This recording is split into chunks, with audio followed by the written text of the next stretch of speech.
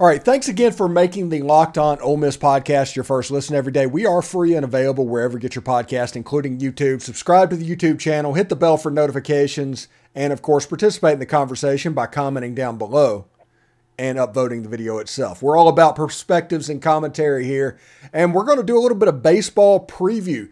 The 2022 national champion Ole Miss Rebels will start in about a month Lots of players that have moved on. There's no Kevin Graham, no Justin Bench, no Tim Elko. Some of those names we're used to, but a lot of names are going to be coming back. How you doing, Derek? Doing good, man. How you doing? I'm doing quite well. I'm kind of looking forward to baseball season. Basketball isn't going particularly well. Coach Yo, yeah. Coach Yo does have the girls humming at the moment, but yeah, baseball needs to hurry up and get started.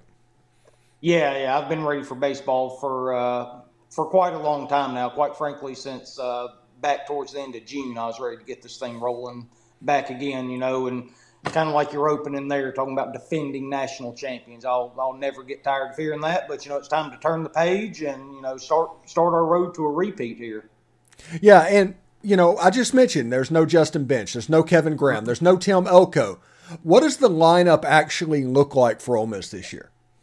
Yeah, the lineup's going to be stacked again, man. You know, even without those guys, we have so many players coming back. You know, you, you start out with Jacob Jacob Gonzalez, the shortstop, the All American. You know, he's he's in the conversation to be the number one overall pick in the MLB draft. He's that talented, both defensively and offensively, from the left side of the plate. You know, uh, so so you get him back, and you know you get the spark plug and and Peyton Chatagnier, and every time you look at a lineup, both defensively and with the bats, you want to start up the middle. See see how you're going to look. And man, Ole Miss is really solid there with those two at short and second. And then you know you you get a good look at uh, Calvin Harris at, at, catcher this year. You know he's been blocked by Hayden Dunhurst the last couple years. You know here and uh, boy he really came around, started swinging it well for us last year, especially in in Omaha. You know and and that whole postseason run he was really good earlier in the year at DH. Played a little corner outfield for us uh, as well as backing up Dunhurst and you know, he had an injury there that kind of put him out a little bit. And then, uh, you know, once he got back in and latter part of the year when we need him, he, he really stepped up for us. So, you know, you'll have him at catcher and center field's going to be the really interesting spot. You know, you've got TJ McCants coming back, super, super talented guy. You know, went, went through a heck of a lot last year. You know, people didn't know it while the season was going on, but after the season ended, you kind of heard what all was going on just in his personal life, you know, and that, uh, and that's always tough for a young player to go through. You know, as uh, hard as baseball is, especially in the SEC, you know, to have to deal with that too. But but you saw how talented he was there in the postseason. He just come up with big hit after big hit for us. And uh, but then you know you look and you've got this transfer coming in, Ethan Groff from Tulane, and uh, you know he's he's played center field his entire career, so maybe he. Maybe he gets into center and you move TJ to left, or vice versa. It'll be interesting to see how Mike ends up doing that. But Ethan is a really, really good player. Hit 404 last year, a power speed guy, hit nine bombs, stole seven bases, I think it was. But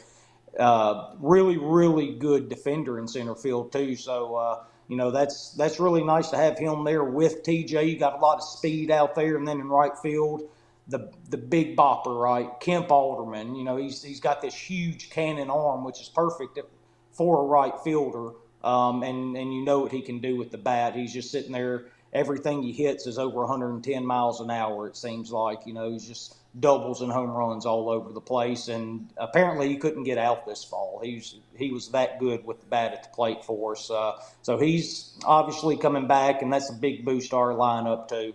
Uh, but these these guys, top to bottom, should really swing it. I think the the key position for us next year is figure out what we're going to do at third base with Justin Bench going out. You know, we we had Reagan Burford last year, you know, and he swung it okay, but he really, really struggled defensively for us over there.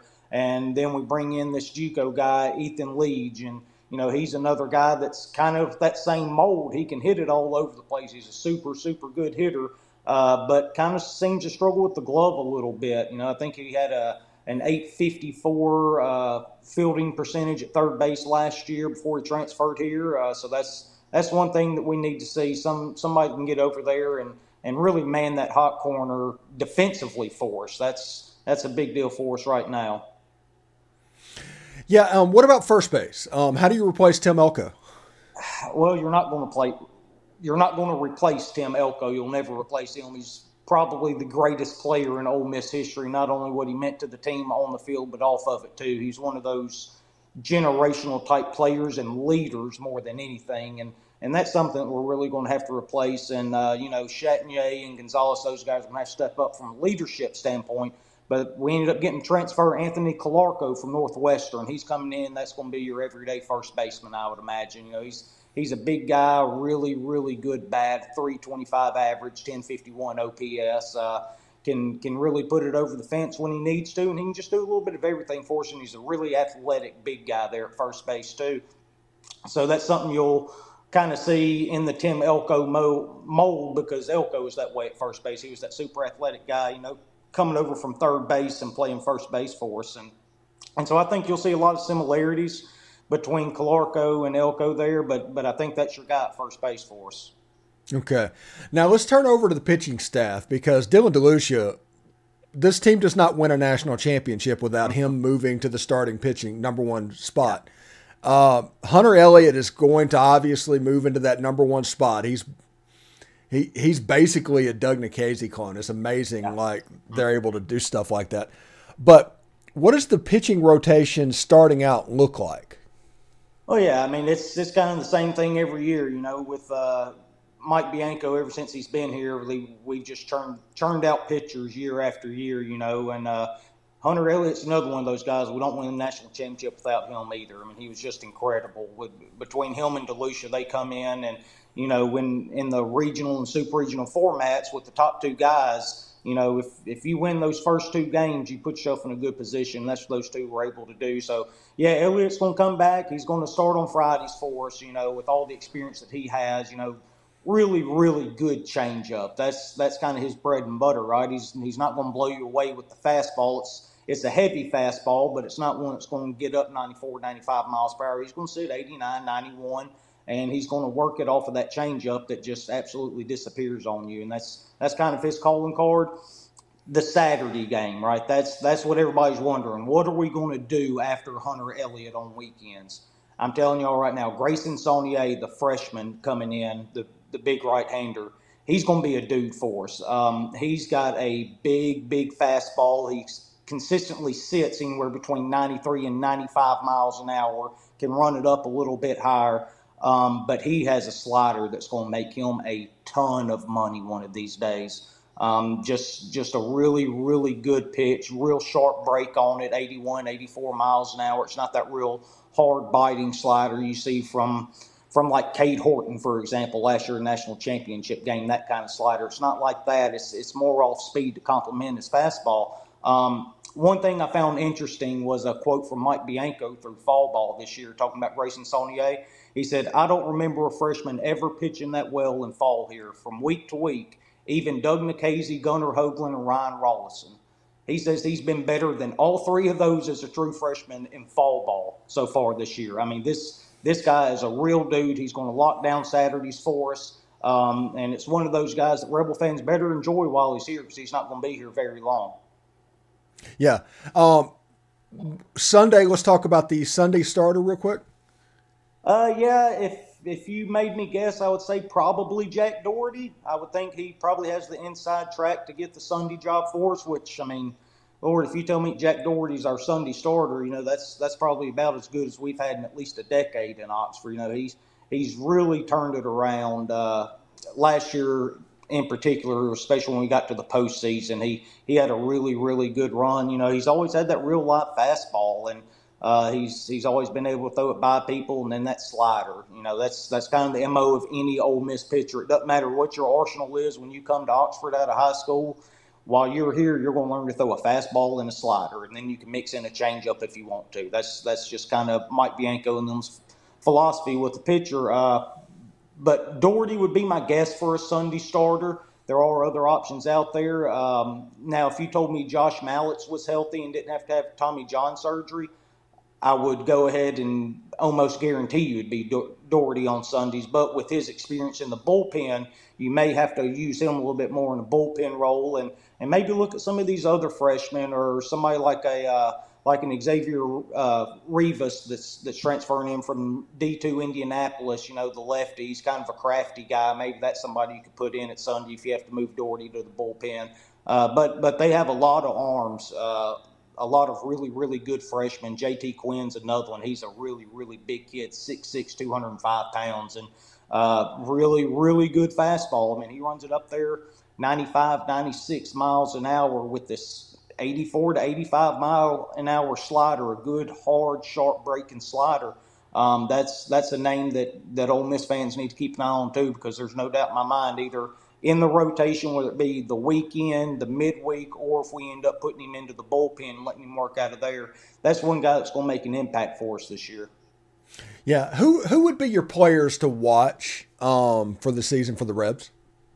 Uh, yeah, kind of on the pitching side. You know, I always talk about Grayson Saunier just because he's a new guy, right? I mean, that's that's mm-hmm. one guy that you're going to want to watch. Uh, JT Quinn. Uh, one really important piece, I think, is going to be Mason Nichols. You know, he he pitched really well for us last year out of the bullpen. He has a lot of experience down there. That that may be where we go first to try to close games out since we've lost Mallitz. Uh, and and don't forget, you got Riley Maddox coming back more than likely at some point next year. You know, he's he's probably not going to be ready for the start of the season, but he's been throwing off flat ground uh, a good bit here lately. You know, I think started that about two two and a half months ago, something like that. And and he was really good for a freshman for us last year before he ended up having to have the surgery. So that's that's another arm that we we potentially have have in our in our bag we can pull out to to throw into that bullpen. Uh, you know, and then Will Furniss, you know, I I know I talked about him with you back during signing day and all that for for baseball. You know, he's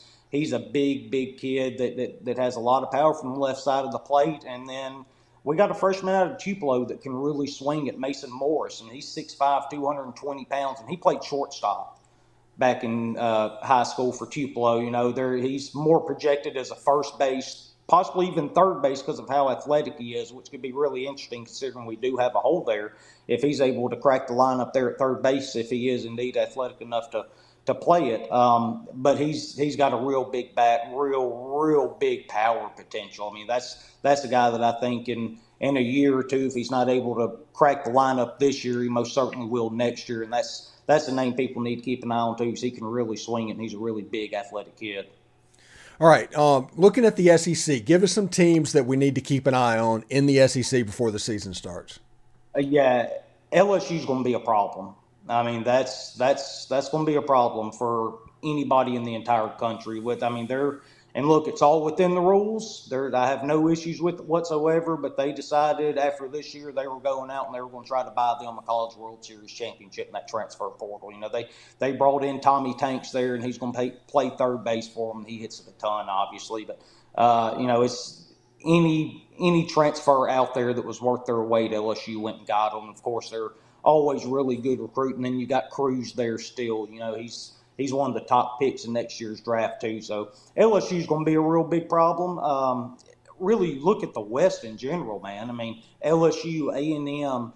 You know Mississippi State's going to end up bouncing back. They're they're one of those programs that's not going to stay down long. Uh, uh, and and then Auburn, you know, they're they're they've built a really good baseball program out there at Auburn, and then Arkansas too. You know, they're they're always going to be a problem with Van Horn. Uh, but then you got Tennessee still and, and Vanderbilt and Florida. You know, this the SEC is going to be about as big of a bear as it's ever been in recent memory this year. I mean, there's teams. I, I can make a case for anybody besides Alabama winning the SEC West. That's how good it is this year. I mean, it's it's going to be absolutely incredible. It's going to be a lot of fun to watch. You're, you're going to get a, a, a top level game day in and day out on weekends when SEC play starts. It's going to be a ton of fun. Um, but you know, you you better bring your lunch pail when you come play in the SEC this year. It's going to be a damn dogfight every single time you step out on the on the field. All right. Thanks again for making the Locked On Ole Miss podcast your first listen every day. Make sure you check out our brand new podcast, Locked On College Basketball. Everything you need to know about your college basketball in one place. Plus, hear from big name experts, insiders, coaches, and players.